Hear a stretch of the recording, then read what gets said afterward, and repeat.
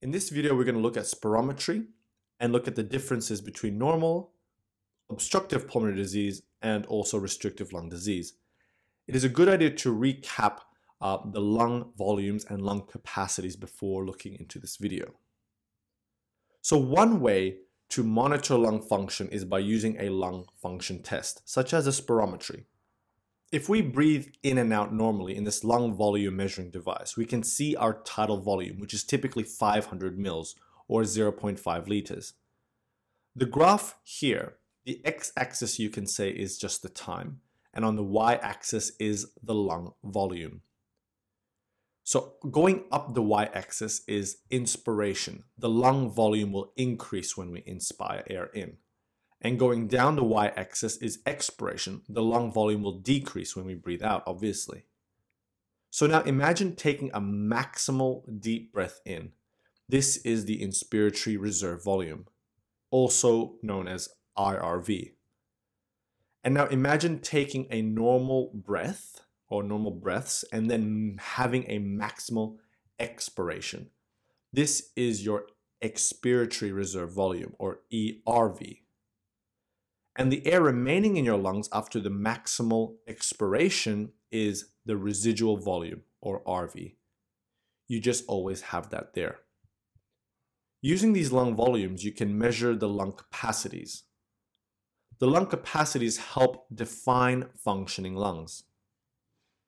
The vital lung capacity refers to the maximum amount of air expired from a fully inflated lung. This means it's the tidal volume, TV, plus the inspiratory reserve volume plus the expiratory reserve volume. The functional residual capacity, which should not be mixed up with the residual volume, represents the volume of air remaining in the lungs after expiration of a normal breath. So it's residual volume plus expiratory reserve volume. Very important is also the total lung capacity, which is the sum of all the lung volumes. In a typical adult male, it's about 6 liters. We will use a typical adult male uh, total lung capacity as an example in the following scenarios. So this first graph represents the, uh, a normal lung. Air coming in and carbon dioxide coming out. The alveoli are inflating and deflating normally. Dynamic measurements of lung volumes and capacities have been used to help determine lung dysfunction. The vital capacity uh, is really important to remember. Again, it's the tidal volume plus the inspiratory reserve volume plus the expiratory reserve volume. The forced vital capacity is basically the same thing as the vital capacity. But by definition, it is the largest amount of air that can be expired after a maximal inspiratory effort. So you breathe very deep in and then you breathe out fully. The forced vital capacity is frequently measured clinically as an index of pulmonary function. It gives useful information about the strength of the respiratory muscles and other aspects of pulmonary function. Let us draw it in a graph of a normal lung. Here you have the volume on the x-axis and flow through the lung on the y. So a normal adult has a total lung capacity of 6 liters. So here is the volume um, set uh, here at 6 liters. So from 0 to 6 is the total lung capacity. The forced vital capacity, FVC, is again the largest amount of air that can be expired after you take a, the, the maximal breath in. The spirometry helps document and measure all this. So imagine taking a deep breath in and then exhaling it out as forcefully as and as quickly as you can. We can thus say this is your vital capacity or forced vital capacity, which in reality is your tidal volume plus your inspiratory reserve volume plus your expiratory reserve volume.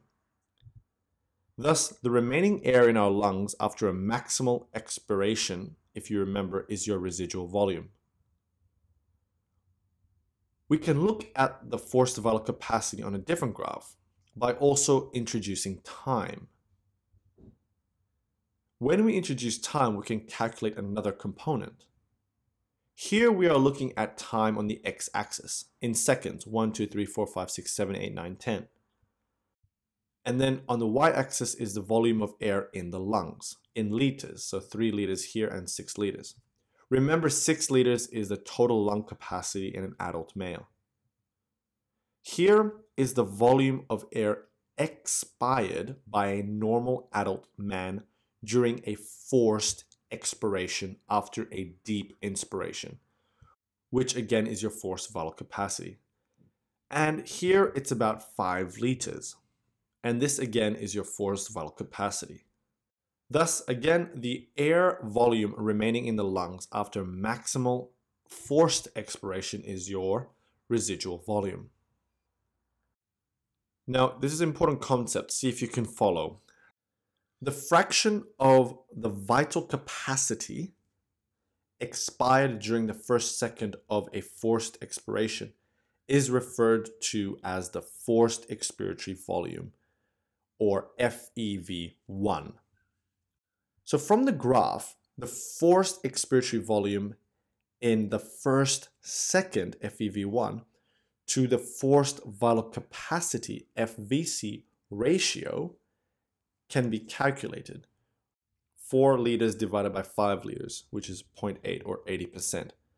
And again, this is normal. We will look at how this changes with certain diseases.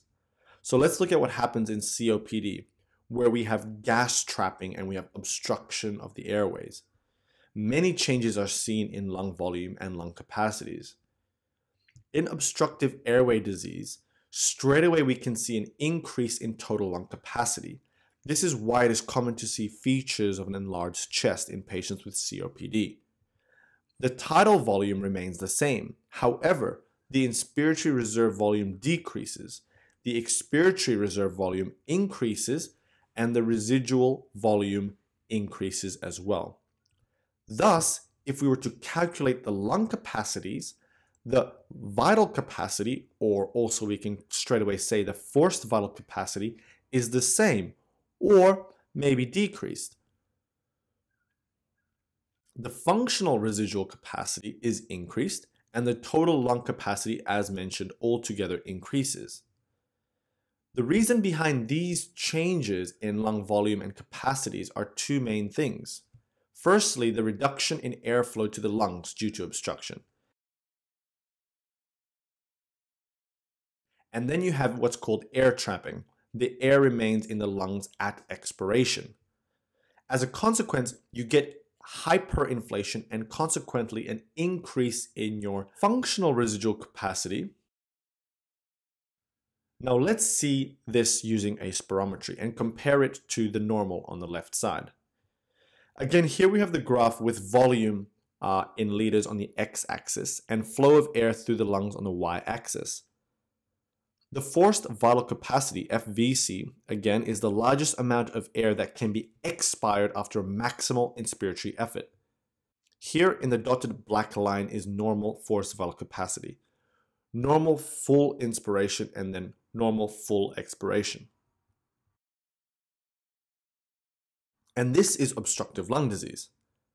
The whole graph shifts to the left because you have an increase in residual volume and an increase in total lung capacity, more than 6 liters. Your vital capacity, or forced vital capacity, you can say, remains the same. But all up, your total lung capacity has increased because of the increase in your residual volume, or better, because of the increase in your functional residual capacity. You can see here the characteristic kink in, in the obstructive lung disease patient during forced expiration. This is because of the obstruction. And also the flow decreases slightly because of the obstruction through the airways. Let's see what the first second of a forced expiration uh, is using the graph, looking at time and volume on the y-axis. Again, to compare this to normal uh, forced vital capacity. This is obstructive lung disease. We can see that the forced vital capacity is the same or slightly decreased. The forced expiratory volume in the first second has dropped significantly. Obstructive lung disease can be diagnosed when the ratio between FEV1 and FVC is less than 0.7 or 70%. And so in this example, FEV1 is about 1 liter and the FVC is about 5 liters. And so 1 divided by 5 is obviously less than 0.7 or less than 70%. And thus, this is an example of a person who has obstructive lung disease. Finally, let's look at restrictive lung disease. These conditions include pneumoconiosis, uh, sarcoidosis, uh, amongst many other things. In restrictive lung disease, you have restriction like fibrosis in the lungs, which impair lung compliance. So the tidal volume remains the same, but you have all this restriction in the lung, all this fibrosis. And so your inspiratory reserve volume is reduced and your expiratory reserve volume is reduced and your and your residual volume is reduced as well. Everything is reduced. Thus, your forced vital capacity is reduced the functional residual capacity is reduced, and surprisingly, your total lung capacity is reduced. The reason for this again is because of pulmonary fibrosis or changes in the lungs that lead to restriction and lung compliance. You get stiffness, restriction, and because of this stiffness, you have reduction in lung volumes and lung capacities. Let's look at your uh, forced vital capacity using a graph again. The dotted black line represents normal forced vital capacity, which is the largest amount of air that can be expired after a maximal inspiratory effort. Here in brown is the pattern of forced vital capacity seen in restrictive lung disease. As you can see, it has shifted to the right. The reason for this shift and change is because firstly, your total lung capacity has reduced because of the restrictive lung changes the residual volume has reduced, and so it is no surprise your vital capacity or forced vital capacity is reduced. What about the forced expiratory volume in the first second? Well, let's look at the other graph again at time on the x-axis. So 1, 2, 3, 4, 5, 6, 7, 8, 9, 10 seconds. And lung volume on the y, which again in a normal adult male goes up to 6 liters. A normal person uh, shoots up and the force vital capacity goes up to about 5 liters. In restrictive here, however, in brown, you can see that the force vital capacity has reduced dramatically. But the forced expiratory volume in one second is not as affected. The forced expiratory volume in one second, FEV1, in restrictive lung disease is not as affected as seen in patients who have COPD or obstructive lung disease. It can be normal actually in these patients who have restrictive lung disease or reduced, depending on the severity and if the person has obstructive lung disease too. The FEV1 to FVC ratio is a useful tool in recognizing severity of airway disease and can help differentiate between COPD and restrictive lung disease. In restrictive lung disease, the FEV to FVC ratio is not as affected. So for example, in this uh, scenario of restrictive lung disease, the FEV1 is about 3 liters um, and the forced vital capacity is about 4 liters. So 3 divided by 4 is 0.75 or 75%. And thus, this can constitute restrictive uh, lung disease rather than obstructive airway disease. Hope this video makes sense and hope it was helpful.